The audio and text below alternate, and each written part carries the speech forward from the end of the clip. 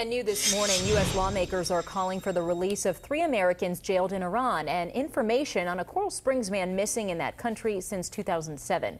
The House of Representatives unanimously passed a resolution Monday. It asks for information on Robert Levinson. Levinson disappeared eight years ago in Iran while working as a private investigator and a consultant for the CIA.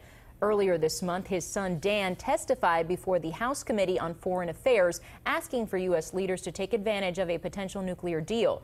The U.S. also wants the release of three others, including Washington Post reporter Jason Rezaian.